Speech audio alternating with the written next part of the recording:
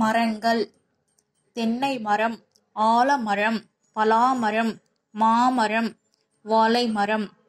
மறுபடியும் தென்னை மரம் ஆலமரம் பலாமரம் மாமரம் வாழைமரம்.